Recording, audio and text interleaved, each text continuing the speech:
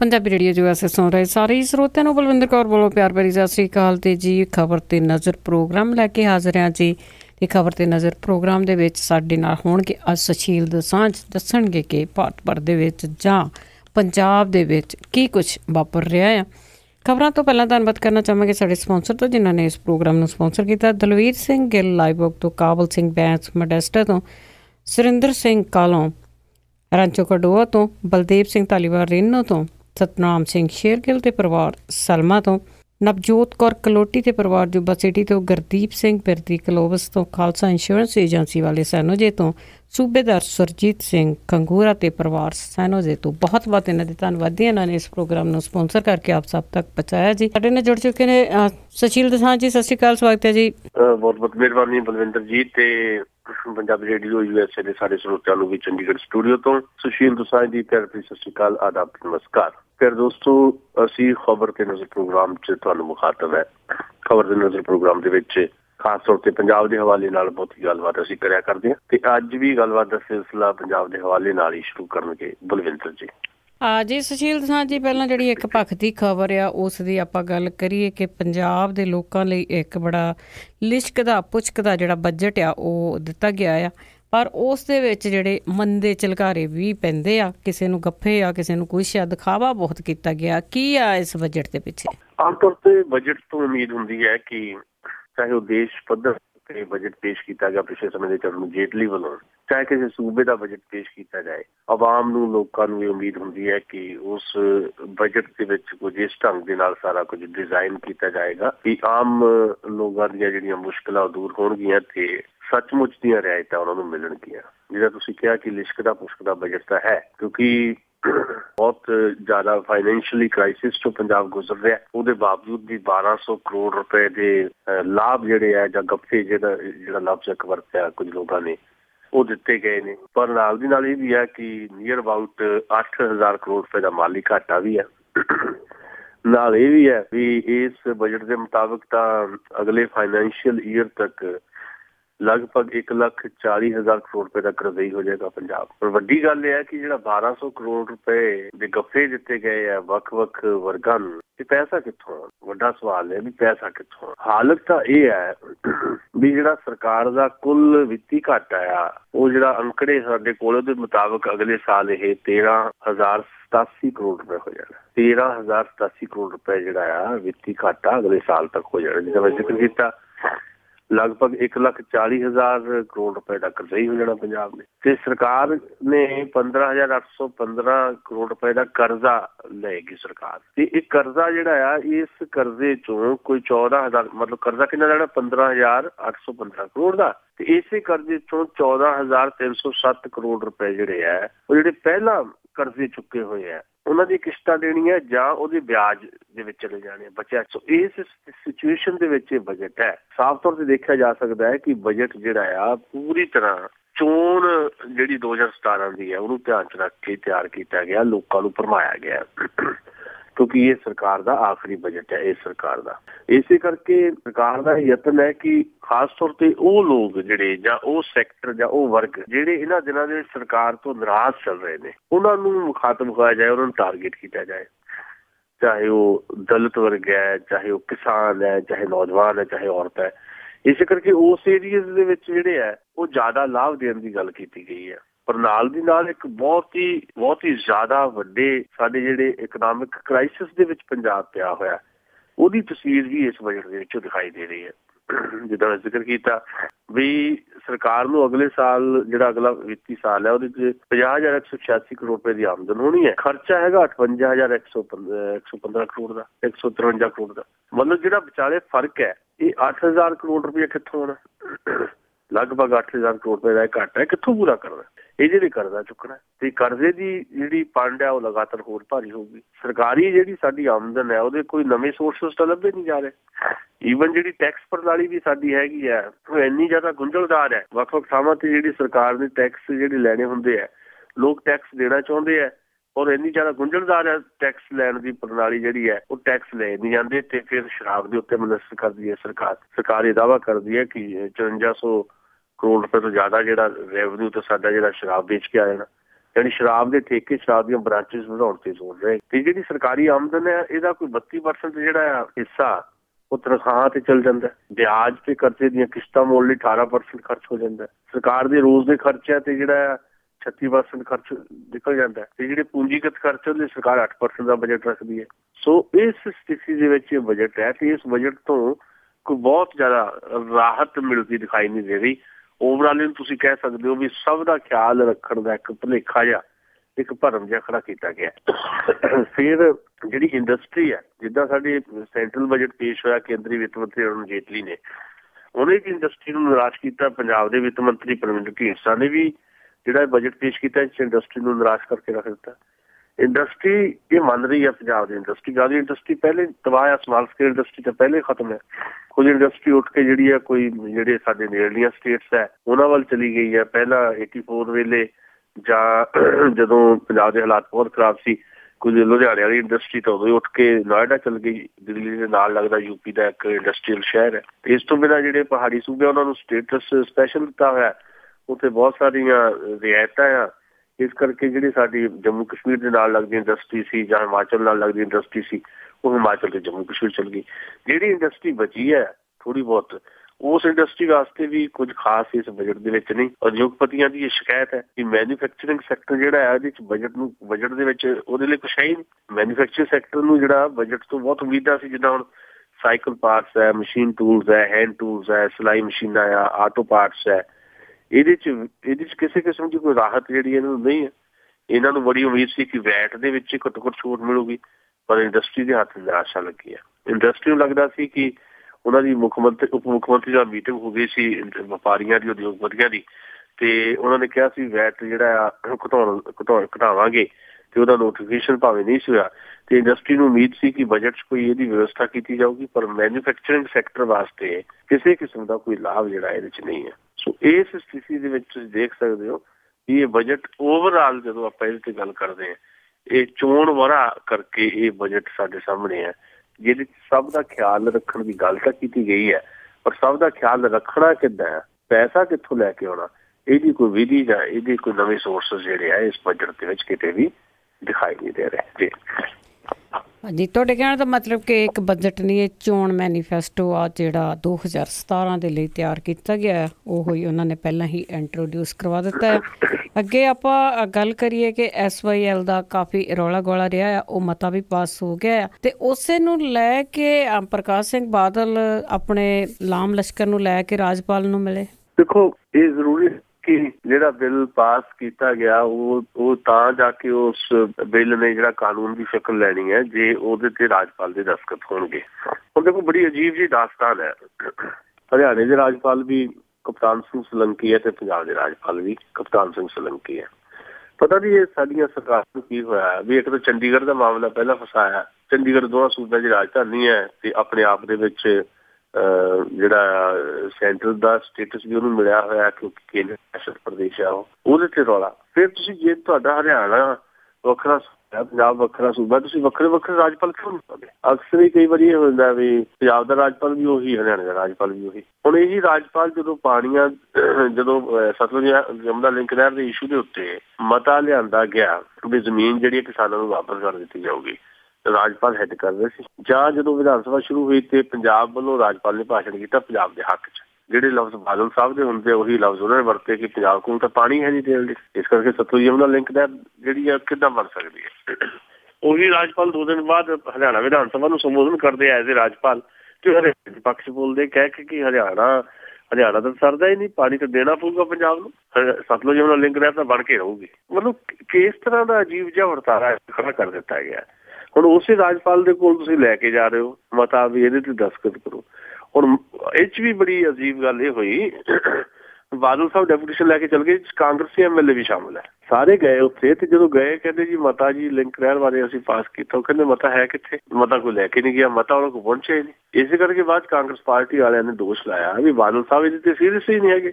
ਵੀ ਜਦੋਂ 2004 ਦੇ ਵਿੱਚ ਕੈਪਟਨ ਅਮਰਿੰਦਰ ਸਿੰਘ ਨੇ ਜਿਹੜੇ ਪਾਣੀਆਂ ਦੇ ਸਾਰੇ ਸਮਝੌਤੇ ਰੱਦ ਕੀਤੇ, ਉਦੋਂ ਜਦੋਂ ਡੈਪੂਟੇਸ਼ਨ ਗਿਆ ਲੈ ਕੇ ਤੇ ਮਤਾ ਨਾਲ ਲੈ ਕੇ ਗਏ ਕੈਪਟਨ ਅਮਰਿੰਦਰ ਸਿੰਘ ਤੇ ਬਾਦਲ ਸਾਹਿਬ ਮਤਾ ਹੀ ਨਹੀਂ ਲੈ ਕੇ ਗਏ। ਰੂਟੀਨ 'ਚ ਮਤਾ ਉਹਨਾਂ ਕੋਲ ਪਹੁੰਚਿਆ ਨਹੀਂ। ਯਾਨੀ ਇੱਕ ਪੂਰੀ ਪੂਰੀ ਕਾਰਵਾਈ ਫੇਕ ਹੋ ਗਈ। ਹੁਣ ਇਸ ਸਾਰੀ ਸਥਿਤੀ ਦੇ ਵਿੱਚ ਤੁਸੀਂ ਸਿੰਸੈਰਿਟੀ ਜਿਹੜੀ ਹੈ ਉਹਨੂੰ ਸਕਦੇ ਹੋ ਵੀ ਕਿੰਨੀ ਹੈਗੀ ਹੈ ਰਾਜਨੀਤਿਕ ਤੌਰ ਦੇ ਉੱਤੇ, ਇੱਛਾ ਸ਼ਕਤੀ ਕਿੰਨੀ ਹੈ। ਦੂਜੀ ਗੱਲ ਇਹ ਜਿਹੜਾ ਮੁੱਦਾ ਆ, ਇਹ ਸਿੱਧੇ ਤੌਰ ਦੇ ਉੱਤੇ ਇੱਕ ਵੋਟਿੰਗ ਟੂਲ ਬਣ ਗਿਆ। ਹੁਣ ਜਿਹੜੇ ਸਤਲੁਜ ਜਮਨਾ ਲਿੰਕ ਨਹਿਰ ਲਈ ਜਿਹੜੀ ਜ਼ਮੀਨ ਅਕਵਾਇਰ ਕੀਤੀ ਗਈ ਸੀ, ਕੋਈ 5400 ਏਕੜ ਦੇ ਨੇੜੇ ਜਿਹੜੀ ਜ਼ਮੀਨ ਹੈ। ਜਿਨ੍ਹਾਂ ਦੀ ਜ਼ਮੀਨ ਅਕਵਾਇਰ ਕੀਤੀ ਗਈ ਸੀ, ਉਹ ਉਹ, ਉਹਨਾਂ ਚ ਕੁਝ ਜਿਉਂਦੇ ਆ, ਲੋਕ ਕੁਝ ਨਹੀਂ ਜਿਉਂਦੇ, ਜਾਂ ਉਹਨਾਂ ਦੇ ਵਾਰਿਸ ਹੈ। ਉਹਨਾਂ ਨੂੰ ਤਾਂ ਬੜੀ ਖੁਸ਼ੀ ਹੋ ਰਹੀ ਹੈ ਕਿ ਸਾਨੂੰ ਜ਼ਮੀਨ ਵਾਪਸ ਮਿਲਣੀ ਮਿਲਣੀ ਕਿੱਦਾਂ ਦਾ ਪਤਾ ਹੀ ਉਹਨਾਂ ਨੇ ਤਾਂ ਆਪਣਾ ਸ਼ਸਤਰ ਤਿੱਖੇ ਕਰਨੇ ਸ਼ੁਰੂ ਕਰ ਦਿੱਤੇ ਆ। ਵੀ ਆਪ ਹੀ ਲਿੰਕ ਨਹਿਰ ਜਿੰਨੀ ਕੁ ਬਣੀ, ਉਹਨੂੰ ਢਾ ਦਿਓ ਤੇ ਆਪਣੀ ਜ਼ਮੀਨਾਂ ਤੇ ਕਬਜ਼ਾ ਕਰ ਲਓ, ਕਿਉਂਕਿ ਉਹਨਾਂ ਨੂੰ ਤਾਂ ਸਰਕਾਰ ਵੱਲੋਂ ਇਹ ਹੋ ਗਿਆ, ਸਰਕਾਰ ਨੇ ਮਤਾ ਲੈ ਆਂਦਾ ਜੀ ਕਿਸਾਨਾਂ ਦੀ ਜ਼ਮੀਨ ਵਾਪਸ ਹੋਊਗੀ। ਹੁਣ ਜੇ ਇਸ ਸਥਿਤੀ ਆ ਗਈ ਤਾਂ ਵਾਲਿਆਂ ਨੇ ਵੀ ਜਿਹੜੇ ਨਾਲ ਲੱਗਦੇ ਇਲਾਕੇ ਹਰਿਆਣੇ ਦੇ ਨਾਲ, ਸਾਡੇ ਪੰਜਾਬ ਦੇ, ਤੇ ਪੰਜਾਬ ਨਾਲ ਲੱਗਦੇ ਹਰਿਆਣੇ ਦੇ ਇਲਾਕੇ ਜਿਹੜੇ ਉੱਥੋਂ ਦੇ ਜਾਤ ਜਾਂ ਜਿਹੜੇ ਕਿਸਾਨ ਹੈ ਜਾਂ ਸਾਡੇ ਕਿਸਾਨ, ਜੀ ਇਸ ਲੈਵਲ ਦੇ ਉੱਤੇ ਆ ਕੇ ਜਿਹੜੇ ਟਕਰਾਅ ਦੀ ਸਥਿਤੀ ਆ ਗਿਆ ਤਾਂ ਕੱਲ ਨੂੰ ਹਿੰਸਕ ਟਕਰਾਅ ਵੀ ਹੋ ਸਕਦਾ, ਖੂਨੀ ਟਕਰਾਅ ਵੀ ਹੋ ਸਕਦਾ। ਯਾਨੀ ਇੱਕ ਵਾਰ ਫੇਰ ਪੰਜਾਬ ਨੂੰ ਬਲਦੀ ਜ਼ਬੂਤੇ ਦੇ ਦਿੱਤਾ ਗਿਆ। ਲੌਜੀਕਲੀ ਜਿਹੜਾ ਆ, ਤਰਕ ਦੇ ਨਾਲ ਗੱਲ ਹੋਣੀ ਚਾਹੀਦੀ ਹੈ, ਤੇ ਅੱਜ ਦੀ ਤਰੀਕ ਦੇ ਵਿੱਚ ਜਿਹੜੇ ਕੌਮੰਤਰੀ ਸਿਧਾਂਤ ਹੈਗੇ ਪੇਜਿੰਗ ਸਿਧਾਂਤ, ਉਹਦੇ ਮੁਤਾਬਕ ਸੁਪਰੀਮ ਕੋਰਟ ਦੇ ਵਿੱਚ ਆਪਣਾ ਪੱਖ ਰੱਖਿਆ ਜਾਣਾ ਚਾਹੀਦਾ ਜੇ ਤੁਸੀਂ ਪੰਜਾਬ ਵਿਧਾਨ ਸਭਾ ਦੇ ਵਿੱਚ ਕੀਤਾ ਵੀ ਇੱਕ ਮਤਾ ਲਿਆਂਦਾ ਤੇ ਉਹਨੂੰ ਇਸ ਢੰਗ ਨਾਲ ਲੈ ਕੇ ਆਓ ਤਾਂ ਜੋ ਤਾਂ ਜੋ ਜਿਹੜਾ ਕਿਸੇ ਵੀ ਕਿਸਮ ਦੀ ਰਸਤੇ ਦੇ ਵਿੱਚ ਕੋਈ ਦਿੱਕਤ ਨਾ ਹੋਵੇ। ਉਹ ਐ ਨਾ ਲੱਗੇ ਕਿ ਅਖੋਤੀ ਕਿਸਮ ਦਾ ਸਿਰਫ ਨੈਲ ਤੇ ਦਹਿਲਾ ਮਾਰਨ ਦੀ ਕੋਸ਼ਿਸ਼ ਕੀਤੀ ਗਈ ਹੈ। ਵੀ ਕੈਪਟਨ ਅਮਰਿੰਦਰ ਨੇ ਪਾਣੀ ਦੇ ਸਮਝੌਤੇ ਰੱਦ ਕੀਤੇ ਸੀ, ਅਸੀਂ ਦਹਿਲਾ ਉੱਤੇ ਮਾਰਤਾ, ਇਹ ਕਹਿ ਕੇ ਕਿਸਾਨਾਂ ਦੀ ਜ਼ਮੀਨ ਵਾਪਸ ਕਰਾਂਗੇ, ਪਰ ਉਹਦੇ ਵਾਸਤੇ ਸਿੰਸੈਰਿਟੀ ਜਿਹੜੀ ਹੈ ਕਿਸੇ ਕਿਸੇ ਦੀ ਦਿਖਾਈ ਨਹੀਂ ਦੇ ਰਹੀ। ਲੋਕਾਂ ਦੇ ਵਿੱਚ ਨਾਲ ਦੀ ਨਾਲ ਜਿਹੜਾ ਸੰਚਾਰ ਹੋ ਗਿਆ ਇਸ ਕਿਸਮ ਦਾ, ਸਾਡੀਆਂ ਜ਼ਮੀਨਾਂ ਸਾਨੂੰ ਵਾਪਸ ਮਿਲਣੀਆਂ ਤੇ ਜੇ ਸਰਕਾਰੀ ਪੱਧਰ ਤੇ ਨਹੀਂ ਫੈਸਲਾ ਹੋ ਪਾ ਰਿਹਾ ਜਾਂ ਰਾਜਪਾਲ ਤੇ ਦਸਖਤ ਨਹੀਂ ਕਰਦੇ ਆਪਣੀ ਜ਼ਮੀਨਾਂ ਤੇ ਆਪ ਹੀ ਕਬਜ਼ੇ ਕਰ ਲਓ। ਜਦੋਂ ਆਪ ਹੀ ਕਬਜ਼ੇ ਕਰਨ ਦੀ ਲੜਾਈ ਚੱਲ ਪਏਗੀ, ਤੇ ਇੱਕ ਅਜੀਬ ਕਿਸਮ ਦਾ ਜਿਹੜਾ ਟੈਨਸ਼ਨ ਜਿਹੜੀ ਹੈ ਜਾਂ ਟਕਰਾਅ ਜਿਹੜਾ ਆ, ਉਹ ਦਿਖਾਈ ਦੇਣ ਨੂੰ ਮਿਲੇਗਾ ਤੇ ਇਹਦੇ ਨਾਲ ਸੁਸਾਇਟੀ ਦੇ ਵਿੱਚ ਵੀ ਤੇ ਪੰਜਾਬ ਦੇ ਹਿੱਤ ਵਿੱਚ ਵੀ ਜਿਹੜਾ ਕੁਝ ਹੋਣ ਵਾਲਾ ਨਹੀਂ ਹੈ ਤੇ ਇਹਦੇ ਨਾਲ ਨੁਕਸਾਨ ਜਿਹੜਾ ਹੈ ਉਹ ਜ਼ਿਆਦਾ ਹੋ ਸਕਦਾ ਹੈ। ਅਸੀਂ ਸਮਝਦੇ ਹਾਂ ਕਿ ਚਾਹੇ ਉਹ ਕਾਂਗਰਸ ਪਾਰਟੀ ਹੈ, ਚਾਹੇ ਸ਼੍ਰੋਮਣੀ ਅਕਾਲੀ ਦਲ, ਚਾਹੇ ਬੀਜੇਪੀ, ਇਹਨਾਂ ਨੂੰ ਘੱਟੋ ਘੱਟ ਇੱਕ ਇੱਕ ਮਾਮਲੇ ਦੇ ਉੱਤੇ ਜਿਹੜੀ ਹੈ ਇੱਕ ਰਾਏ ਬਣਾ ਲੈਣੀ ਚਾਹੀਦੀ ਹੈ। ਘੱਟੋ ਘੱਟ ਅਕਾਲੀ ਇਹ ਤਾਂ ਇਹ ਤਾਂ ਸਥਿਤੀ ਪੈਦਾ ਕਰ ਲੈਣ ਵੀ ਜਿਹੜੇ ਉਹਨਾਂ ਦੇ ਦੋ ਐਮਐਲਏ ਹਰਿਆਣੇ ਦੇ ਵਿੱਚ, ਉਹ ਤਾਂ ਉਹਨਾਂ ਦਾ ਸਟੈਂਡ ਕਰਨ। ਹਰਿਆਣੇ ਦੇ ਦੋ ਅਕਾਲੀ ਐਮਪੀ ਐਮਐਲਏ ਜਿਹੜੇ ਆ, ਉੱਥੋਂ ਦੀ ਬੀਜੇਪੀ ਨਾਲ ਖੜੇ ਇਹ ਕਹਿ ਰਹੇ ਆ ਕਿ ਲਿੰਕ ਨਾਲ ਤਾਂ ਬਣ ਕੇ ਰਹੂਗੀ। ਜਿਹੜਾ ਇੱਧਰ ਅਕਾਲੀ ਦਲ ਆ, ਸਾਡਾ ਪੰਜਾਬ ਵਾਲਾ, ਉਹ ਕਹਿੰਦਾ ਇੱਕ ਬੂੰਦ ਵੀ ਪਾਣੀ ਜੀ ਅਸੀਂ ਜਾਣ ਨਹੀਂ ਦਿੰਦੇ। ਫਿਰ ਉਹ ਅਕਾਲੀ ਦਲ ਦੇ ਮੈਂਬਰ ਕਾਹਤੇ ਆ? ਹਰਿਆਣੇ ਵਾਲੇ।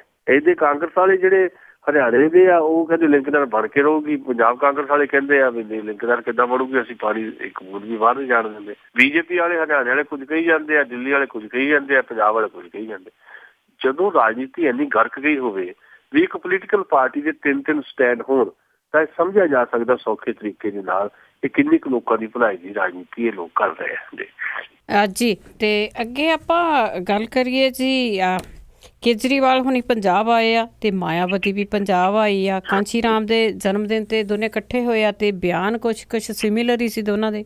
ਦੇਖੋ, ਪੰਜਾਬ ਦੇ ਵਿੱਚ ਅਸਲ 'ਚ ਦਲਿਤ ਵੋਟ ਜਿਹੜੀ ਹੈ, ਉਹਦੇ ਤੇ ਪੋਲਿਟਿਕਸ ਬਹੁਤ ਤੇਜ਼ ਹੋ ਗਈ ਹੈ। ਉਹ ਪੰਜਾਬ ਆਏ ਕਾਂਚੀ ਰਾਮ ਦੇ ਜਨਮ ਦਿਨ ਤੇ। ਕੇਜਰੀਵਾਲ ਗਏ ਉਹਨਾਂ ਦੇ ਪਿੰਡ। ਬਾਬੂ ਕੰਸ਼ੀ ਰਾਮ ਦਾ ਜਿਹੜਾ ਪਿੰਡ ਹੈ, ਰੋਪੜ ਜ਼ਿਲ੍ਹੇ ਦੇ ਵਿੱਚ ਪੈਂਦਾ ਹੈ। ਉਸ ਪਿੰਡ 'ਚ ਗਏ ਤੇ ਦਾਅਵਾ ਇਹ ਕੀਤਾ ਗਿਆ ਕਿ ਉਹਨਾਂ ਨੂੰ ਉੱਥੇ ਬੁਲਾਇਆ ਗਿਆ। ਪ੍ਰਿਥੀਪੁਰ ਬੁੰਗਾ ਪਿੰਡ ਹੈ ਉਹਨਾਂ ਦਾ, ਕੰਸ਼ੀ ਰਾਮ ਦਾ। ਤੇ ਉੱਥੇ ਗਏ ਤੇ ਉਹਨਾਂ ਨੇ ਕਿਹਾ ਕਿ ਉਹਨਾਂ ਦੀ ਭੈਣ ਸਰਨਜੀਤ ਕੌਰ ਨੇ ਜਾਂ ਉਹਨਾਂ ਦੇ ਪਰਿਵਾਰ ਨੇ ਉਹਨਾਂ ਨੂੰ ਬੁਲਾਇਆ। ਪਹਿਲੀ ਵਾਰ ਮਾਇਆਵਤੀ ਨੇ ਪੰਜਾਬ ਚ ਆ ਕੇ ਬਾਬੂ ਕਾਂਸ਼ੀ ਰਾਮ ਦਾ ਜਨਮ ਦਿਨ ਮਨਾਇਆ ਨਵੇਂ ਸ਼ਹਿਰ 'ਚ। ਆਮ ਤੌਰ ਤੇ ਮਾਇਆਵਤੀ ਜਿਹੜਾ ਉਹਨਾਂ ਦਾ ਜਨਮ ਦਿਨ ਲਖਨਊ 'ਚ ਮਨਾਉਂਦੇ ਆ। ਇਹਦਾ ਮਤਲਬ ਇਹ ਹੋ ਗਿਆ ਕਿ ਪੰਜਾਬ ਦੇ ਵਿੱਚ ਜਿਹੜੀ ਦਲਿਤ ਵੋਟ ਹੈ, ਉਹ ਬਹੁਤ ਇੰਪੋਰਟੈਂਟ ਫੈਕਟਰ ਹੈ। ਉਹਨੂੰ ਹੁਣ ਨਾ ਤਾਂ ਬਹੁਜਨ ਸਮਾਜ ਪਾਰਟੀ ਛੱਡ ਸਕਦੀ ਹੈ, ਨਾ ਹੀ ਕਾਂਗਰਸ ਪਾਰਟੀ ਛੱਡ ਸਕਦੀ ਹੈ। ਉਸ ਦਲਿਤ ਵੋਟ ਬੈਂਕ ਦਾ ਜਿਹੜਾ ਇੱਕ ਬਹੁਤ ਵੱਡਾ ਪ੍ਰਭਾਵ ਹੈ ਤੇ ਨਾ ਹੀ ਅਕਾਲੀ ਤੇ ਨਾ ਹੀ ਆਮ ਆਦਮੀ ਪਾਰਟੀ ਵਾਲੇ। ਖਾਸ ਤੌਰ ਤੇ ਆਮ ਆਦਮੀ ਪਾਰਟੀ ਤੇ ਬੀਐਸਪੀ ਤੇ ਕਾਂਗਰਸ ਦਾ ਜ਼ੋਰ ਲੱਗਾ ਕਿ ਦਲਿਤ ਵੋਟ ਨੂੰ ਕਿਸੇ ਨਾ ਕਿਸੇ ਤਰੀਕੇ ਨਾਲ ਆਪਣੇ ਕਾਬੂ ਹੇਠ ਕੀਤਾ ਜਾਏ। ਦਲਿਤ ਵੋਟ ਦਾ ਜਿਹੜਾ ਅਲਜਬਰਾ ਹੈ, ਉਹ ਰਵਾਇਤੀ ਤੌਰ ਦੇ ਉੱਤੇ ਦਲਿਤ ਵੋਟ ਜਿਹੜੀ ਹੈ, ਉਹ ਪੰਜਾਬ ਦੇ ਵਿੱਚ ਉਹ ਕਾਂਗਰਸ ਪਾਰਟੀ ਨਾਲ ਨਿਭਦੀ ਰਹੀ ਹੈ। ਉਂਝ ਵੀ ਸਾਰੇ ਦੇਸ਼ ਦੇ ਵਿੱਚ ਹੀ ਦਲਿਤ ਵੋਟ ਦੇ, ਦਲਿਤ ਵੋਟ ਬੈਂਕ ਜਿਹੜਾ ਆ, ਉਹ ਕਾਂਗਰਸ ਪਾਰਟੀ ਨੇ ਕਿਸਮ ਦਾ ਇਹ ਸਮਝਿਆ ਹੋਇਆ ਸੀ ਕਿ ਦਲਿਤ ਵੋਟ ਤਾਂ ਉਹਨਾਂ ਦਾ ਪੱਕਾ ਵੋਟ ਬੈਂਕ ਹੈ ਤੇ ਉਹਦੇ ਤੇ ਕਿਸਮ ਦਾ ਕੋਈ ਸੰਨ ਜਿਹੜਾ ਨਹੀਂ ਲਾ ਸਕਦਾ। ਪਰ ਜਦੋਂ ਪਹਿਲਾਂ ਬਾਮਸੇਫ ਆਈ ਤੇ ਬਾਮਸੇਫ ਤੋਂ ਬਾਅਦ ਡੀਐਸ4 ਤੇ ਡੀਐਸ4 ਤੋਂ ਬਾਅਦ ਬਹੁਜਨ ਸਮਾਜ ਪਾਰਟੀ ਦੀ ਸਥਾਪਨਾ ਹੋਈ ਬਾਬੂ ਕਾਂਸ਼ੀ ਦੀ ਅਗਵਾਈ ਦੇ ਵਿੱਚ ਦੇਸ਼ 'ਚ, ਤਾਂ ਉੱਤਰੀ ਭਾਰਤ ਦੇ ਕੁਝ ਸੂਬੇ ਖਾਸ ਤੌਰ ਤੇ ਉੱਤਰ ਪ੍ਰਦੇਸ਼ ਤੇ ਪੰਜਾਬ ਦੇ ਵਿੱਚ ਦਲਿਤ ਰਾਜਨੀਤੀ ਨੇ ਇੱਕ ਨਵਾਂ ਮੋੜ ਲਿਆ ਸੀ। ਉਹਦੇ ਚ ਬਹੁਜਨ ਸਮਾਜ ਪਾਰਟੀ ਨੇ ਬਹੁਤ ਵੱਡੇ ਪੱਧਰ ਦੇ ਉੱਤੇ ਕਾਂਗਰਸ ਪਾਰਟੀ ਦਾ ਜਿਹੜਾ ਇਹ ਰਵਾਇਤੀ ਵੋਟ ਬੈਂਕ ਸੀ, ਉਹ ਸੰਨ ਲਾਈ ਇਹਦਾ ਸਿੱਟਾ ਇਹ ਨਿਕਲਿਆ ਕਿ ਚਾਰ ਚਾਰ ਵਾਰ ਉੱਤਰ ਪ੍ਰਦੇਸ਼ ਦੇ ਵਿੱਚ ਬੀਐਸਪੀ ਦੀ ਸਰਕਾਰ ਬਣੀ। ਪੰਜਾਬ ਦੇ ਵਿੱਚ ਇਹਦਾ ਅਸਰ ਇਹ ਰਿਹਾ ਕਿ 1992 ਦੇ ਵਿੱਚ ਪਹਿਲੀ ਵਾਰ ਬੀਐਸਪੀ ਨੇ ਵਿਧਾਨ ਸਭਾ ਲਈ ਆਪਣਾ ਖਾਤਾ ਖੋਲ੍ਹਿਆ 9 ਸੀਟਾਂ ਦੇ ਨਾਲ ਤੇ ਲਗਭਗ 16.5% ਉਹਨਾਂ ਨੂੰ ਵੋਟ ਮਿਲੀ। ਯਾਨੀ ਜਿਹੜੀ ਦਲਿਤ ਵੋਟ ਹੈ, ਸਾਡੇ 32% ਹੈ 32 33 34% ਵੱਖਰੇ ਵੱਖਰੇ ਦਾਅਵੇ ਆ ਕੱਲ ਸ਼ਮਸ਼ੇਰ ਸਿੰਘ ਦੁੱਲੋ ਨੇ ਤਾਂ ਕਿਹਾ ਜੀ 37% ਹੈ, ਪਰ 32 33% ਦੇ ਕਰੀਬ ਦੀ ਦਲਿਤ ਵੋਟ ਹੈ। ਪੰਜਾਬ ਦੇ ਵਿੱਚ। ਉਹਦੇ ਵਿੱਚ 1992 ਦੇ ਵਿੱਚ ਬੀਐਸਪੀ ਜਿਹੜੀ ਹੈ, ਉਹ 16.5% ਵੋਟ ਲੈ ਗਈ। ਉਹਦੇ ਤੋਂ ਲੱਗਾ ਕਿ ਪੰਜਾਬ ਦੀ ਦਲਿਤ ਰਾਜਨੀਤੀ ਜਿਹੜੀ ਹੈ, ਨਵੀਂ ਕਰਵਟ ਲੈ ਰਹੀ ਹੈ। ਪਰ ਬਾਅਦ ਵਿੱਚ ਬੀਐਸਪੀ ਦੀਆਂ ਤਰਜੀਹਾਂ ਜਿਹੜੀਆਂ, ਕੁਝ ਇਸ ਢੰਗ ਦੇ ਨਾਲ ਫਿੱਟ ਨਹੀਂ ਬੈਠੀਆਂ। ਇਹ 5 ਸਾਲਾਂ ਬਾਅਦ 1997 ਦੇ ਵਿੱਚ ਉਹਨਾਂ ਦੀ ਵੋਟ ਘਟ ਕੇ 7.5% ਰਹਿ ਗਈ ਤੇ ਐਮਐਲਏ ਜਿੱਤਿਆ ਉਹਨਾਂ ਦਾ 1 1992 ਚ ਉਹਨਾਂ ਦੇ 9 ਐਮਐਲਏ ਜਿੱਤੇ 16.5% ਵੋਟਾਂ ਨਾਲ 1992 ਤੋਂ ਬਾਅਦ 97 ਵਿੱਚ ਜਿਹੜੀਆਂ ਵੋਟਾਂ ਹੋਈਆਂ, ਉਹਨਾਂ ਦਾ ਇੱਕੋ ਐਮਐਲਏ ਜਿੱਤਿਆ 7.5% ਵੋਟਾਂ ਨਾਲ। ਉਸ ਤੋਂ ਬਾਅਦ ਜਦੋਂ 2012 ਚ ਚੋਣਾਂ ਹੋਈਆਂ ਤੇ ਉਹਨਾਂ ਦਾ ਕੋਈ ਐਮਐਲਏ ਨਹੀਂ ਜਿੱਤਿਆ ਤੇ ਵੋਟ ਪਈ ਉਹਨਾਂ ਨੂੰ 4.5% ਯਾਨੀ ਦਲਿਤ ਵੋਟ ਬੈਂਕ ਜਿਹੜਾ ਕਾਂਗਰਸ ਦਾ ਰਵੈਤੀ ਵੋਟ ਬੈਂਕ ਸੀ, ਉਹਦੇ 'ਚ ਇੱਕ ਵੱਡੀ ਸੰਨ ਲਾਉਣ ਤੋਂ ਬਾਅਦ ਵੀ ਬੀਐਸਪੀ ਖਿੰਡ ਗਈ। ਤੇ ਅੱਜ ਹਾਲਤ ਇਹ ਹੈ ਕਿ ਬੀਐਸਪੀ ਦੇ ਕੋਲ ਪੰਜਾਬ 'ਚ 4% ਦੇ ਨੇੜੇ ਜਿਹੜੇ ਵੋਟ ਸੋ ਨੰਬਰ 1 ਜਿਹੜੀ ਇਹ ਵੋਟ, ਜਿਹੜੀ 16.5% ਤੱਕ ਬੀਐਸਪੀ ਦੀ ਗਈ ਸੀ, ਉਸ ਵੋਟ ਨੂੰ ਉਸ ਵੋਟ ਨੂੰ ਰਿਵਾਈਵ ਕਰਨ ਦੀ ਕੋਸ਼ਿਸ਼ ਜਿਹੜੀ ਹੈ ਵੀ ਮਾਇਆਵਤੀ ਕਰ ਰਹੀ ਹੈ, ਨਵਾਂ ਸ਼ਹਿਰ ਦੇ ਵਿੱਚ ਜਿਹੜਾ ਕੀਤਾ, ਉਹਦਾ ਇਹੀ ਮਕਸਦ ਸੀ। ਉੱਥੇ ਉਹਨਾਂ ਨੇ ਭਾਰਤ ਰਤਨ ਦੀ ਮੰਗ ਕੀਤੀ ਹੈ, ਕਾਂਸ਼ੀ ਰਾਮ ਵਾਸਤੇ। ਦੂਜਾ ਇੰਪੋਰਟੈਂਟ ਐਲਾਨ ਉਹਨਾਂ ਨੇ ਇਹ ਕੀਤਾ ਕਿ ਪੰਜਾਬ 'ਚ ਬੀਐਸਪੀ ਇਕੱਲਿਆਂ ਚੋਣ ਲੜੇਗੀ। ਇਹਦੇ ਤੇ ਅਗਲੇ ਹਫ਼ਤੇ ਵੀ ਅਸੀਂ ਡਿਟੇਲ ਚਰਚਾ ਕਰਾਂਗੇ ਵੀ ਬੀਐਸਪੀ ਦੇ ਇਕੱਲਿਆਂ ਚੋਣ ਲੜਨ ਦੇ ਅਰਥ ਕੀ ਹੈ। ਤੇ ਇਕੱਲਿਆਂ ਚੋਣ ਲੜਨ ਕਰਕੇ ਹੀ ਪੰਜਾਬ 'ਚ ਬੀਐਸਪੀ ਇਸ ਹਾਲਤ ਵਿੱਚ ਪਹੁੰਚੀ ਹੋਈ ਹੈ। ਤੇ ਉਹਦਾ ਲਾਭ ਕਿਹਨੂੰ ਹੁੰਦਾ? ਇਹਦੇ ਬਾਰੇ ਵੀ ਚਰਚਾ ਹੋਣ ਵਾਲੇ ਦਿਨਾਂ 'ਚ ਆਪਾਂ ਕਰਾਂਗੇ। ਪਰ ਉਹਨਾਂ ਨੇ ਬਹੁਤ ਅਹਿਮ ਐਲਾਨ ਕੀਤਾ, ਜਿਹਦੇ ਕਰਕੇ ਜਿਹੜੀਆਂ ਸੰਭਾਵਨਾਵਾਂ ਸੀ ਵੀ ਕਾਂਗਰਸ ਪਾਰਟੀ ਨਾਲ ਉਹਨਾਂ ਦਾ ਸਮਝੌਤਾ ਹੋ ਸਕਦਾ, ਉਹ ਹਾਲ ਫਿਲਹਾਲ ਜਿਹੜਾ ਆ, ਉਹ ਸੰਭਾਵਨਾਵਾਂ ਖਤਮ ਹੋ ਗਈਆਂ। ਦੂਜੇ ਬੰਦੇ ਅਰਵਿੰਦ ਕੇਜਰੀਵਾਲ ਨੇ ਦੋ ਤਿੰਨ ਗੱਲਾਂ ਜਿਹੜੀਆਂ ਬੜੀਆਂ ਇੰਪੋਰਟੈਂਟ ਕੀਤੀਆਂ। ਨੰਬਰ 1 ਤਾਂ ਉਹਨਾਂ ਨੇ ਵੀ ਬਾਬੂ ਕਾਂਸ਼ੀ ਰਾਮ ਵਾਸਤੇ ਉਹਨਾਂ ਦੇ ਪਿੰਡ ਜਾ ਕੇ ਭਾਰਤ ਰਤਨ ਦੀ ਮੰਗ ਕੀਤੀ ਜਾਂ ਭਾਰਤ ਰਤਨ ਦੇਣ ਦੀ ਵਕਾਲਤ ਕੀਤੀ ਹੈ। ਹੁਣ ਮੁਕਾਬਲਾ ਇਹ ਹੈ ਕਿ ਕੀ ਬੀਬੀ ਮਾਇਆਵਤੀ ਦਲਿਤ ਵੋਟ ਨੂੰ ਰਿਵਾਈਵ ਕਰ ਸਕਦੀ ਹੈ ਪੰਜਾਬ ਦੇ ਵਿੱਚ? ਜਾਂ ਦਲਿਤ ਵੋਟ ਦੇ ਉੱਤੇ ਜਿਹੜੀ ਨਜ਼ਰ ਆ ਹੁਣ ਦੀ ਅਰਵਿੰਦ ਕੇਜਰੀਵਾਲ ਦੀ, ਉਹਦੇ ਚੋਂ ਸਫਲ ਹੋ ਸਕਦੇ ਆ। ਕਿਉਂਕਿ ਉਹਨਾਂ ਨੇ ਇੱਕ ਗੱਲ ਹੋਰ ਬੜੀ ਇੰਪੋਰਟੈਂਟ ਕਹੀ ਵੀ ਆਰਐਸਐਸ ਦਾ ਜਿਹੜਾ ਏਜੰਡਾ ਹੈ ਵੀ ਜਿਹੜਾ, ਜਿਹੜੇ, ਜਿਹੜੀ ਰਿਜ਼ਰਵੇਸ਼ਨ ਹੈ ਉਹਨੂੰ ਖਤਮ ਕਰ ਦੇਣਾ ਚਾਹੀਦਾ ਮੈਂ ਇਹ ਏਜੰਡਾ ਪੂਰਾ ਨਹੀਂ ਹੋਣ ਦਿੰਦਾ। ਜਿਹੜੀ ਦਲਿਤ ਇਕੱਠ ਦੇ ਵਿੱਚ ਜਾ ਕੇ ਬਾਬੂ ਕਾਂਸ਼ੀ ਰਾਮ ਦੇ ਜਨਮ ਦਿਨ ਦੇ ਮੌਕੇ ਦੇ ਉੱਤੇ ਰਿਜ਼ਰਵੇਸ਼ਨ ਦੇ ਇਸ਼ੂ ਦੇ ਉੱਤੇ ਸਾਫ਼ ਤੌਰ ਤੇ ਅਰਵਿੰਦ ਕੇਜਰੀਵਾਲ ਦਾ ਇਹ ਕਹਿਣਾ ਕਿ ਆਰਐਸਐਸ ਦਾ ਰਿਜ਼ਰਵੇਸ਼ਨ ਨੂੰ ਖਤਮ ਕਰ ਦੇਣ ਦਾ ਏਜੰਡਾ ਅਸੀਂ ਪੂਰਾ ਨਹੀਂ ਹੋਣ ਦੇਵਾਂਗੇ ਇਹ ਦਲਤਾਂ ਨੂੰ ਆਪਣੇ ਪੱਖ ਵਿੱਚ ਕਰਨ ਦੀ ਇੱਕ ਸਿਆਸੀ ਪੈਂਤੜੇਬਾਜ਼ੀ ਦੇ ਤੌਰ ਤੇ ਤੁਸੀਂ ਇਹਨੂੰ ਦੇਖ ਸਕਦੇ ਹੋ। ਦੂਜੀ ਇੰਪੋਰਟੈਂਟ ਗੱਲ ਉਹਨਾਂ ਨੇ ਇਹ ਕਿ ਅਰਵਿੰਦ ਕੇਜਰੀਵਾਲ ਨੇ ਵੀ ਜਿਹੜਾ ਪੰਜਾਬ ਦੇ ਪਾਣੀਆਂ ਦਾ ਇਸ਼ੂ ਹੈ, ਜਿਹਦੇ ਬਾਰੇ ਹੁਣੇ ਆਪਾਂ ਚਰਚਾ ਕਰਦੇ ਹਾਂ ਆ ਉਸ ਇਸ਼ੂ ਦੇ ਉੱਤੇ ਕਹਿੰਦੇ ਸਾਡੀ ਬੜੀ ਸਪਸ਼ਟ ਸਮਝ ਹੈ ਵੀ ਪੰਜਾਬ ਕੋ ਪਾਣੀ ਦੇਣ ਨੂੰ ਹੈ ਨਹੀਂ, ਇਸ ਕਰਕੇ ਪੰਜਾਬ ਪਾਣੀ ਹਰਿਆਣੇ ਨੂੰ ਨਹੀਂ ਦੇ ਸਕਦਾ। ਯਾਨੀ ਜਿਹੜਾ ਅਕਾਲੀ ਤੇ ਕਾਂਗਰਸੀ ਜਿਹੜਾ ਅਟੈਕ ਕਰ ਰਿਹਾ ਸੀ ਅਰਵਿੰਦ ਕੇਜਰੀਵਾਲ ਤੇ, ਵੀ ਪੰਜਾਬ ਦੇ ਮੁੱਦਿਆਂ ਤੇ ਆਪਣੀ ਆਪਣੀ ਸਥਿਤੀ ਜਾਂ ਆਪਣੀ ਸਮਝਦਾਰੀ ਅਰਵਿੰਦ ਕੇਜਰੀਵਾਲ ਸਪਸ਼ਟ ਕਰਨ, ਉਹਦੇ ਚ ਉਹਨਾਂ ਨੇ ਆਪਣੀ ਸਥਿਤੀ ਸਪਸ਼ਟ ਕਰ ਦਿੱਤੀ ਹੈ। ਕਾਂਗਰਸ ਤੇ ਅਕਾਲੀਆਂ ਦੇ ਕੋਲ ਕਹਿਣ ਨੂੰ ਅਰਵਿੰਦ ਕੇਜਰੀਵਾਲ ਦੇ ਖਿਲਾਫ ਕੁਝ ਨਹੀਂ ਹੋਏਗਾ। ਦੂਜੀ ਗੱਲ ਇਹ ਹੈ ਕਿ ਇਹਦੇ ਚ ਇਹ ਵੀ ਸੰਕੇਤ ਮਿਲਦੇ ਆ ਵੀ ਕੱਲ ਤੱਕ ਇਹ ਲੱਗਦਾ ਸੀ ਵੀ ਸ਼ਾਇਦ ਐਚ ਸਕੂਲ ਨੂੰ ਆਮ ਆਦਮੀ ਪਾਰਟੀ ਵਾਲੇ ਕੈਂਡੀਡੇਟ ਬਣਾਉਣਗੇ ਸੀਐਮ ਦਾ ਪੰਜਾਬ ਦੇ ਵਿੱਚ। ਸ਼ਾਇਦ ਉਹ ਗੱਲ ਜਿਹੜੀ ਆ ਹਾਲ ਫਿਲਹਾਲ ਜਿਹੜੀ ਰੁਕ ਗਈ ਹੈ ਤੇ ਖੁਦ ਅਰਵਿੰਦ ਕੇਜਰੀਵਾਲ ਦੇ ਬਾਰ-ਬਾਰ ਪੰਜਾਬ ਵੱਲ ਜਿਹੜੇ ਗੇੜੇ ਆ ਤੇ ਪੰਜਾਬ ਦੇ ਵੱਖ-ਵੱਖ ਸੈਕਸ਼ਨਸ ਦੇ ਵਿੱਚ ਜਿਹੜਾ ਉਹਨਾਂ ਦਾ ਦਖਲ ਹੈ, ਉਹਦੇ ਤੋਂ ਇਹ ਲੱਗਦਾ ਕਿ ਆਉਣ ਵਾਲੇ ਸਮੇਂ 'ਚ ਸੀਐਮ ਦੇ ਕੈਂਡੀਡੇਟ ਆਮ ਆਦਮੀ ਪਾਰਟੀ ਵੱਲੋਂ ਅਰਵਿੰਦ ਕੇਜਰੀਵਾਲ ਵੀ ਹੋ ਸਕਦੇ ਆ। ਮੈਂ ਹੁਣ ਤੇ ਕਹਿ ਰਿਹਾ, ਇਹ ਨਹੀਂ ਕਿ ਹੋਣਗੇ ਵੀ ਹੋ ਸਕਦੇ ਆ ਕਿ ਕੋਈ ਕਿਸੇ ਵੀ ਕਿਸਮ ਦੀਆਂ ਜਿਹੜੀਆਂ ਵਿਚਾਰੀਆਂ ਜਾਣੀਆਂ ਚਾਹੀਦੀਆਂ। ਜੀ। ਅਜੀਤ, ਜਿਸ ਤਰ੍ਹਾਂ ਤੁਸੀਂ ਪਹਿਲਾਂ ਹੀ ਹੁਣ ਗੱਲ ਕੀਤੀ ਆ ਕਿ ਜਾਤ ਪਾਤ ਦੇ ਮੁੱਦੇ ਚੱਕੇ ਜਾ ਰਹੇ ਆ ਤੇ ਬਹੁਤ ਵਾਰੀ ਕੰਪਲੇਨਾਂ ਵੀ ਹੁੰਦੀਆਂ ਕਿ ਜੀ ਜਾਤ ਪਾਤ ਬਹੁਤ ਬੁੱਲੀ ਜਾਂਦੀ ਆ, ਕਹੀ ਜਾਂਦੀ ਆ। ਤਾਂ ਇਸੇ ਦੇ ਵਿੱਚ ਇੱਕ ਹੋਰ ਆਪਾਂ ਗੱਲ ਕਰੀਏ ਕਿ ਪਿਛਲੇ ਕੁਝ ਦਿਨਾਂ ਦੇ ਵਿੱਚ ਰਵਿਦਾਸਾ ਭਾਈਚਾਰੇ ਨੇ ਜਿਹੜਾ ਆ, ਉਹ ਵੀ ਇਲਜ਼ਾਮ ਲਾਏ ਆ। ਜਿਸ ਤਰ੍ਹਾਂ ਹੰਸਰਾਜ ਹੰਸ ਨੇ ਵੀ ਇਲਜ਼ਾਮ ਲਾਏ ਆ। ਤੇ ਨਾਲ ਨਾਲ ਹੁਣ ਚਮਚੇਰ ਸਿੰਘ ਦੁੱਲੋ ਨੇ ਵੀ ਇਲਜ਼ਾਮ ਲਾਏ ਆ। ਇਹ ਜਾਤ ਪਾਤ ਦਾ ਚੱਕਰ ਇੰਨਾ ਤੇਜ਼ ਕਿਉਂ ਹੋ ਰਿਹਾ ਆ ਪੰਜਾਬ ਦੇ ਵਿੱਚ? ਦਰਸਲ ਸਾਡੀ ਟੋਟਲ ਪੋਲਿਟਿਕਸ ਜਿਹੜੀ ਹੈ, ਉਹ ਵੋਟ ਪੋਲਿਟਿਕਸ ਵਿੱਚ ਤਬਦੀਲ ਹੋ ਗਈ। ਬੰਦੇ ਨੂੰ ਬੰਦਾ ਨਹੀਂ ਸਮਝਿਆ ਜਾ ਰਿਹਾ, ਬੰਦੇ ਨੂੰ ਵੋਟ ਸਮਝਿਆ ਜਾ ਰਿਹਾ। ਅਸੀਂ ਅੱਜ ਇਸ ਸਥਿਤੀ ਚ ਆ ਗਏ ਹਾਂ ਕਿ ਸਿਰਫ ਤੇ ਸਿਰਫ ਵਿਅਕਤੀ ਨੂੰ ਇੱਕ ਵੋਟ ਦੇ ਤੌਰ ਤੇ ਉੱਤੇ ਜਿਹੜਾ ਟ੍ਰੀਟ ਕੀਤਾ ਜਾਏ। ਇਸ ਕਰਕੇ ਪੰਜਾਬ ਦੇ ਵਿੱਚ ਕਿਉਂਕਿ ਧਰਮ ਆਧਾਰਿਤ ਪੋਲਿਟਿਕਸ ਵੀ ਜਿਹੜੀ ਆ ਹਾਵੀ ਰਹਿੰਦੀ ਹੈ ਤੇ ਜਾਤ ਆਧਾਰਿਤ ਪੋਲਿਟਿਕਸ ਵੀ ਜਿਹੜੀ ਪਿਛਲੇ ਲੰਮੇ ਸਮੇਂ ਤੋਂ ਹਾਵੀ ਹੈ। ਇਸ ਕਰਕੇ ਉਹ ਸਾਰੀ ਪੋਲਿਟਿਕਸ ਜਿਹੜੀ ਹੈ, ਉਹਨੂੰ ਤੁਸੀਂ ਉਸ ਨਜ਼ਰੀਏ ਨਾਲ ਦੇਖ ਵੀ ਸਕਦੇ ਹੋ। ਖਾਸ ਤੌਰ ਤੇ ਹੰਸਰਾਜ ਹੰਸ ਵਾਲੇ ਮਾਮਲੇ 'ਚ ਜਿਹੜੀ ਤੁਸੀਂ ਗੱਲ ਕਰ ਰਹੇ ਹੋ, ਉਹਦੇ 'ਚ ਹੰਸਰਾਜ ਹੰਸ ਨੂੰ ਜਿਵੇਂ ਰਾਸ਼ਟਰਵਾਦੀ ਟਿਕਟ ਆਫਰ ਕੀਤੀ ਗਈ ਕੈਪਟਨ ਅਮਰਿੰਦਰ ਸਿੰਘ ਵੱਲੋਂ, ਤੇ ਉਹ ਜਦੋਂ ਗਏ ਹੋਏ ਸੀ ਬਾਹਰ ਤੇ ਬਾਹਰੋਂ ਉਹਨਾਂ ਨੂੰ ਵਾਪਸ ਬੁਲਾਇਆ ਗਿਆ ਕਿ ਸ਼ਾਇਦ ਕੈਪਟਨ ਅਮਰਿੰਦਰ ਨੂੰ ਇਹ ਸੀ ਕਿ ਜਿਹੜੀ ਉਹਨਾਂ ਨੇ ਹੰਸਰਾਜ ਹੰਸ ਨੂੰ ਸ਼ਾਮਲ ਕੀਤਾ, ਉਹਦੇ ਨਾਲ ਜਿਹੜੀ ਬਾਲਮੀਕੀ ਭਾਈਚਾਰੇ ਦੀ ਵੋਟ ਹੈ, ਉਹ ਕਾਫੀ ਹੱਦ ਤੱਕ ਉਹਨਾਂ ਵੱਲ ਆ ਜਾਏਗੀ। ਤੇ ਉਸ ਨਜ਼ਰੀਏ ਤੋਂ ਉਹਨਾਂ ਨੇ ਹਾਈ ਕਮਾਂਡ ਤੋਂ ਮਨਜ਼ੂਰੀ ਲੈ ਕੇ ਹੰਸਰਾਜ ਹੰਸ ਨੂੰ ਇੰਗਲੈਂਡ ਤੋਂ ਸਗੋਂ ਵਾਪਸ ਬੁਲਾਇਆ ਕਿ ਤੁਸੀਂ ਨਾਮਜ਼ਦਗੀ ਭਰੋ ਰਾਜ ਸਭਾ ਦੀ। ਪਰ ਅਚਾਨਕ 2-4 ਘੰਟੇ ਵਿੱਚ ਸਥਿਤੀਆਂ ਬਦਲ ਗਈਆਂ ਤੇ ਸ਼ਮਸ਼ੇਰ ਸਿੰਘ ਦੋਨੋਂ ਕੈਂਡੀਡੇਟ ਹੋ ਗਏ ਅਫੀਸ਼ੀਅਲ ਤੇ ਹੰਸਰਾਜ ਹੰਸ ਜਿਹੜੇ ਆ ਉਹ ਫੇਰ ਤੋਂ ਇੱਕ ਕਹੋ ਵੀ ਉਸ ਸਥਿਤੀ 'ਚ ਪਹੁੰਚ ਗਏ, ਜਿਸ ਸਥਿਤੀ ਦੇ ਵਿੱਚ ਉਹ ਸ਼ੋਭਨੀ ਅਕਾਲੀ ਦਲ 'ਚ ਰਹੇ। ਇਸ ਕਰਕੇ ਉਹਨਾਂ ਦੋ ਚਾਰ ਗੱਲਾਂ ਇਸ ਤਰ੍ਹਾਂ ਦੀਆਂ ਕੀਤੀਆਂ ਕਿ ਪੰਜਾਬ ਦੀ ਕਾਂਗਰਸ ਦੀ ਜਿਹੜੀ ਦਲਿਤ ਲੀਡਰਸ਼ਿਪ ਦੇ ਸਭਰੀ ਕਿਸਮ ਦੇ ਬੰਦੇ ਆ ਉਹਨਾਂ ਨੇ ਇਹ ਸਾਰਾ ਨੁਕਸਾਨ ਕੀਤਾ ਹੈ। ਬਾਅਦ ਵਿੱਚ ਕੈਪਟਨ ਅਮਰਿੰਦਰ ਨੇ ਉਹਨਾਂ ਨੂੰ ਮਨਾਇਆ, ਮਨੂਇਆ ਵੀ ਹੈ। ਸੰਭਾਵਨਾ ਸੀ ਕਿ ਸ਼ਾਇਦ ਹੰਸਾ ਜਾਂ ਆਮ ਆਦਮੀ ਪਾਰਟੀ ਵੱਲ ਵੀ ਜਾ ਸਕਦੇ ਆ ਪਰ ਹੁਣ ਉਹ ਬਾਅਦ ਵਿੱਚ ਉਹਨਾਂ ਨੂੰ ਦਿੱਲੀ ਬੁਲਾਇਆ ਗਿਆ ਤੇ ਆਫਰ ਸ਼ਾਇਦ ਹੁਣ ਇਹ ਕੀਤਾ ਗਿਆ ਵੀ ਜੁਲਾਈ ਦੇ ਵਿੱਚ ਅੰਬਿਕਾ ਸੋਨੀ ਦੀ ਸੀਟ ਖਾਲੀ ਹੋਣੀ ਹੈ, ਉਸ ਸੀਟ ਤੇ ਜਿਹੜਾ ਆ ਹੰਸਾ ਜੰਸ ਨੂੰ ਐਡਜਸਟ ਕੀਤਾ ਜਾਏਗਾ। ਪਰ ਇਨ ਬਿਟਵੀਨ ਜਿੱਦਾਂ ਸ਼ਮਸ਼ੇਰ ਸਿੰਘ ਦੂਨੋਂ ਦੀ ਵਾਪਸੀ ਹੋਈ ਹੈ ਤੇ ਉਹ ਰਾਜ ਸਭਾ ਦਾ ਮੈਂਬਰ ਲਿਆ ਗਿਆ ਉਹਨੇ ਸ਼ਮਸ਼ੇਰ ਸਿੰਘ ਦੂਨੋਂ ਤੇ ਦਲਤ ਲੀਡਰਸ਼ਿਪ ਜਿਹੜੀ ਕਾਂਗਰਸ ਪਾਰਟੀ ਦੇ ਅੰਦਰ ਹੀ ਹੈ, ਉਹਨਾਂ ਨੂੰ ਤਿੱਖਾ ਕਰ ਦਿੱਤਾ ਹੈ ਜਾਂ ਉਹਨਾਂ ਨੂੰ ਇੱਕ ਨਵੀਂ ਸੰਜੀਵਨੀ ਦੇ ਦਿੱਤੀ ਹੈ। ਇਸੇ ਕਰਕੇ ਸ਼ਮਸ਼ੇਰ ਸਿੰਘ ਦੂਨੋਂ ਨੇ ਕੱਲ ਦਰਬਾਰ ਸਾਹਿਬ ਦੇ ਵਿੱਚ ਜਾ ਕੇ ਮੱਥਾ ਟੇਕਣ ਤੋਂ ਬਾਅਦ ਜਿਹੜੀ, ਜਿਹੜਾ ਇੱਕ ਨਵਾਂ ਗੱਲ ਕਹਿਤੀ, ਉਹਨੇ ਪੰਜਾਬ ਕਾਂਗਰਸ ਦੇ ਅੰਦਰੂਨੀ ਜਿਹੜੀ ਜੱਦੋ ਜਹਿਦ ਹੈ ਉਹਦਾ ਉਹਦਾ ਖੁਲਾਸਾ ਕਰ ਦਿੱਤਾ ਉਹਨਾਂ ਨੇ ਕਿਹਾ ਕਿ ਇਹ ਕੀ ਗੱਲ ਹੋਈ ਕਿ ਜਦੋਂ ਦੇਖੋ ਕਾਂਗਰਸ ਵਾਲੇ ਕਿਸੇ ਜੱਟ ਨੂੰ ਜਿਹੜਾ ਹੈ ਮੁੱਖ ਮੰਤਰੀ ਬਣਾ ਦਿੰਦੇ ਆ। 16% ਇਹਨਾਂ ਕੋਲ ਵੋਟ ਹੈ ਜੱਟ ਭਾਈਚਾਰੇ ਦੇ ਕੋਲ ਤੇ ਮੁੱਖ ਮੰਤਰੀ ਜੱਟ ਬਣਾ ਦਿੱਤਾ ਜਾਂਦਾ ਦਲਿਤ ਭਾਈਚਾਰੇ ਦੇ ਕੋਲ 36% ਵੋਟ ਹੈ। ਸਾਨੂੰ ਕੋਈ ਪੁੱਛਦਾ ਨਹੀਂ ਰੋਟੇਸ਼ਨ ਹੋਣੀ ਚਾਹੀਦੀ ਹੈ। ਜਾਰੀ ਜਿਹੜਾ ਦਾਵਾ ਕੈਪਟਨ ਅਮਰਿੰਦਰ ਦਾ ਪੰਜਾਬ ਦੀ ਚੀਫ ਮਿਨਿਸਟਰੀ ਤੇ ਹੈਗਾ ਕਾਂਗਰਸ ਪਾਰਟੀ ਵੱਲੋਂ ਉਸ ਦਾਅਵੇ ਨੂੰ ਫਿਊਜ਼ ਕਰਨ ਦੀ ਕੋਸ਼ਿਸ਼ ਕੀਤੀ ਹੈ ਸ਼ਮਸ਼ੇਰ ਸਿੰਘ ਦੂਲੋ ਨੇ।